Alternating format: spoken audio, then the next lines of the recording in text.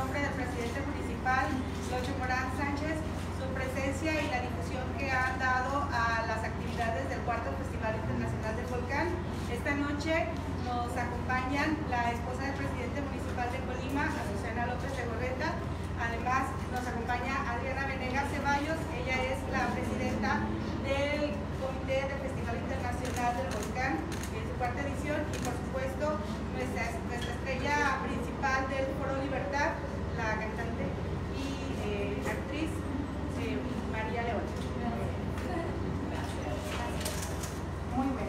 Buenas noches a todos. Es un honor para mí presentar el día de hoy en nombre del comité organizador y el Ayuntamiento de Colima, a quien agradecemos este evento, en especial a nuestro presidente municipal, Leoncio Morán y su esposa Azucena López de Gorreta, que aquí nos acompaña, a María León, cantante, bailarina, actriz y compositora, a quien conocimos como vocalista del exitoso grupo Playa Limbo, y ahora, gracias a su gran talento, nos trae un nuevo proyecto como solista. María, el público colimense está muy contento y, y ansioso de verte sobre este escenario. Te damos la más cordial bienvenida al cuarto Festival Internacional del Volcán. Y bueno, pues bienvenida y gracias por estar aquí. Gracias. Muchísimas gracias. Gracias. Los micrófonos y pasamos a la zona. a la ronda de preguntas. María Quique Murguía de Archivo Digital. Eh, excelente. ¿Tú? Muy bien, emocionada. Este, inquebrantable. Te está yendo súper bien. Cuéntanos sobre esta producción que estás promocionando. Bueno, primero que nada, eh, quiero obviamente darle las buenas noches. Estoy muy emocionada, muy contenta. Perdón que retrasé tantito tu, No te tu preocupes. pregunta. Adelante. Pero es la primera vez que tengo la oportunidad de venir a Colima. Con Playa nunca vinimos tampoco.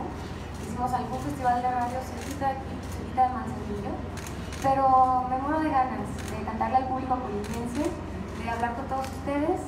Y sí, Inquebrantable. Inquebrantable es el último sencillo de esta producción, que es mi primera producción en solitario. Es una canción que creo que es necesaria porque es un recordatorio de que todos somos dignos de nuestros sueños. A veces se nos olvida y tenemos mucha gente alrededor que se encarga de recordarnos que justo no podemos o que no nos va a salir o que no somos dignos, inclusive hasta en redes sociales los haters se encargan de muchas cosas.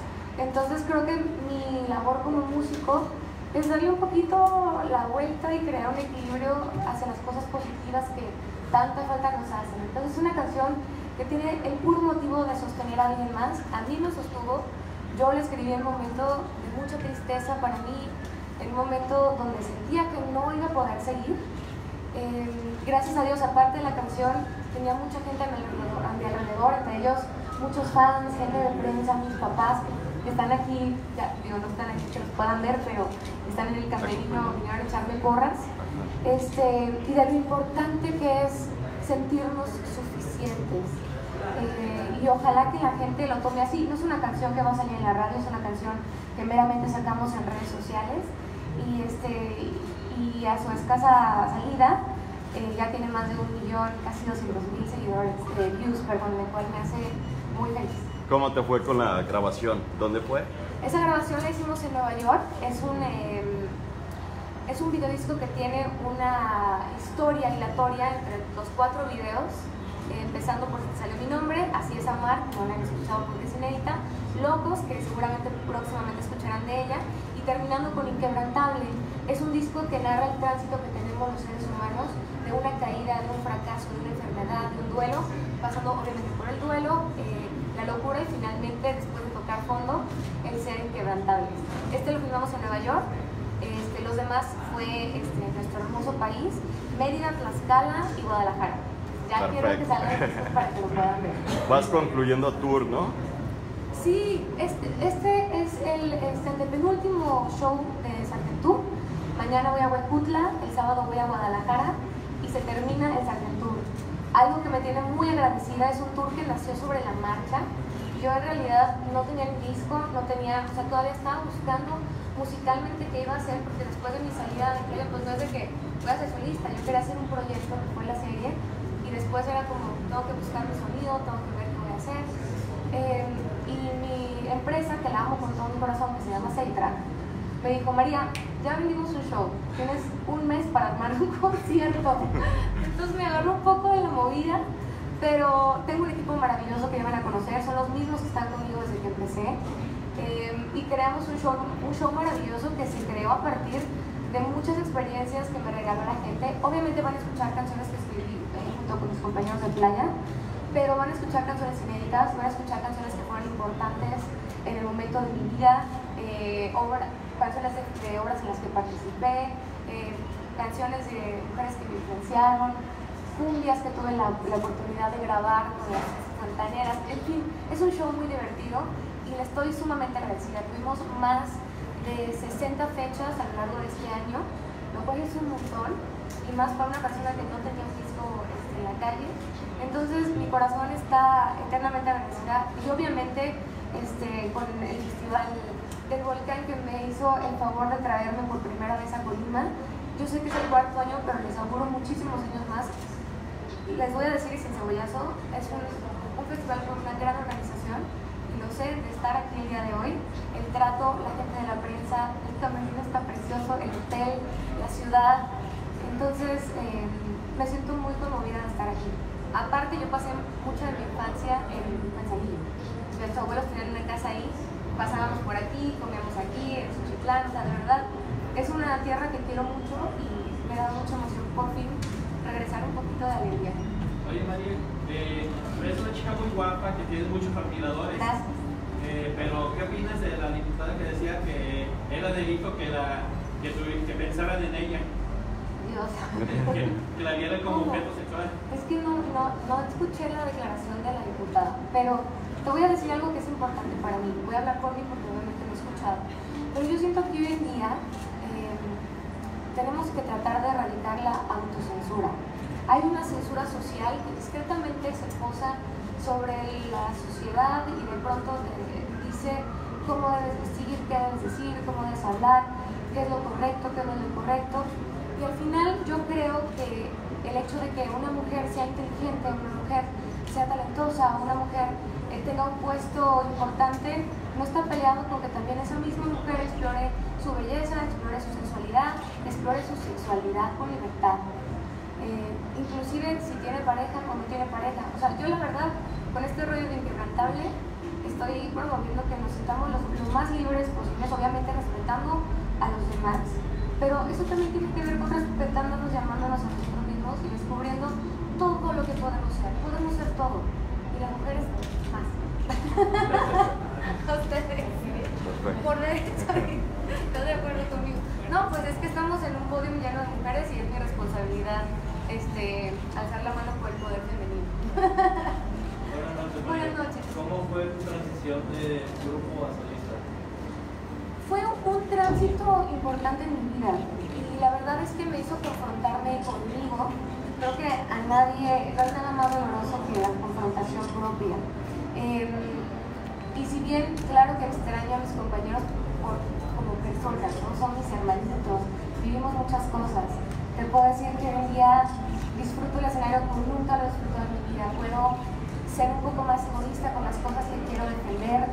Ahora tengo una postura como mujer que es muy importante. No que antes no la tuviera, pero se crea un equilibrio cuando los tres caballeros que también quieres dar un mensaje. Lo más importante es la función y el mensaje. Y en este caso yo me doy una importancia también como, como mujer expositora, como mujer compositora, como intérprete, como front row. Y es una gran responsabilidad.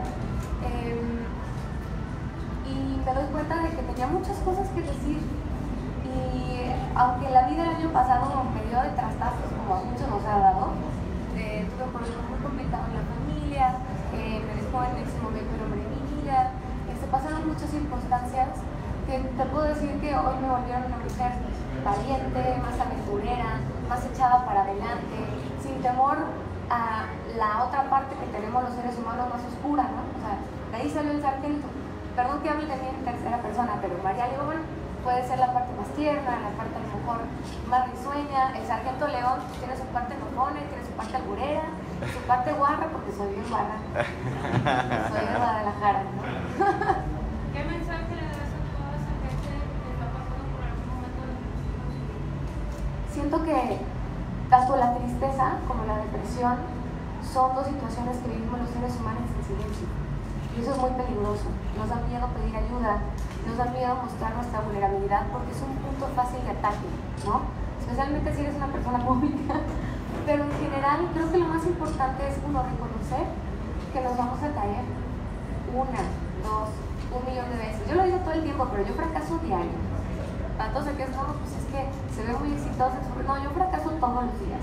Desde lo más simple del gimnasio, si me rindo, me caigo, me caigo del tubo, me puedo caer en la danza, me lastimo, este, no me salen las cosas como quiero, a veces me desafino. O sea, uno fracasa todos los días. Pero lo más importante es que el éxito está compuesto especialmente por el fracaso y por el intento. Mientras hay un intento después del fracaso, podemos seguir en un camino de éxito. Porque como lo dice la canción, es, es muy importante es más importante no dejar de ir que llegar. El éxito no es un lugar, es un camino. Que finalmente, ¿qué, qué sigue? ¿Tienes otro tour? eh? El Empiezo próximo. con un nuevo tour que estaré muy. Creo que lo revelo el nombre. No me han dejado decir el nombre, lo tengo aquí en la punta de la lengua dos veces. Es un tour maravilloso, es un tour que tiene mapping, que tiene mucha danza, pole dance, obviamente tiene las nuevas canciones, nuevas versiones, este, momentos de publicidad, invitados en las pantallas. Eh, y me emociona mucho mostrárselos, lo he trabajado por fin con tranquilidad y planeado durante más de cuatro meses. Eh, Lo estreno el 5 de junio en el Foro Total Play en la Ciudad de México. Ya tengo un listado de fechas que pueden checar en mis redes sociales. Y creo que la siguiente semana me van a dejar revelarles el nombre. Es muy obvio. Se los, voy a, se los voy a regalar por ahí. Gracias, María. Muchas gracias a ustedes. gracias. Y la esposa del presidente municipal quiere entregar un presente.